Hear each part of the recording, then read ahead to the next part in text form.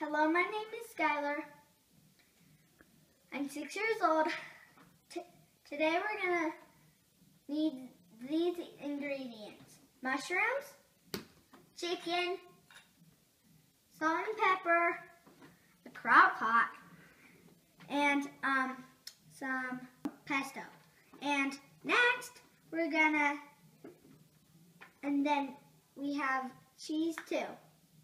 So first we'll, we will uh, get the chicken in.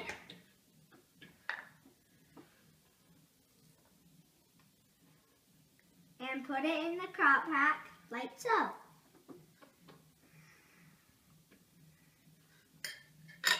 Next, add salt, some salt and pepper on the chicken.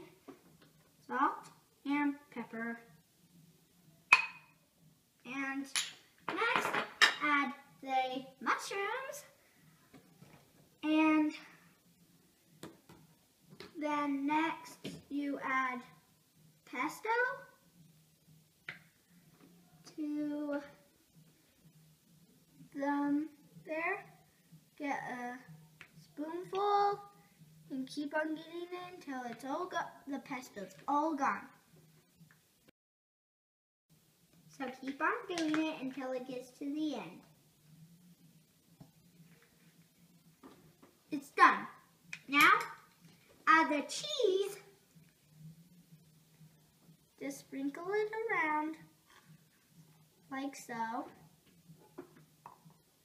And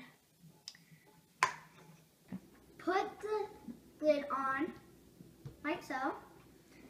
And plug it in like so.